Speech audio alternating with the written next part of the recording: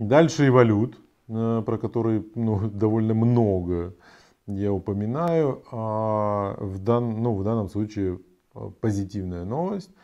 Проект развивается. 28 сентября завод запустили и были произведены первые автомобили. Значит, соответственно, пока это крупноузловая сборка, но, э, соответственно, на открытии завода э, было показано, что это будет все-таки полноценное производство со сваркой, окраской и сборкой. Поэтому, э, ну, в принципе, и первые машины, кстати, появятся в октябре, как я и говорил, там, две недели назад.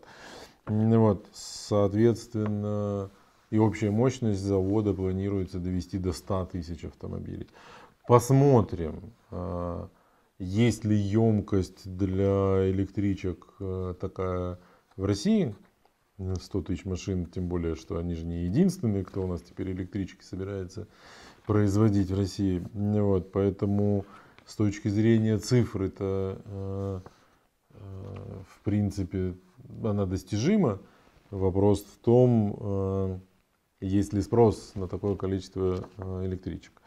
Ну и плюс, ну, но в любом случае, ну, то, что завод открыли, запустили, это позитив.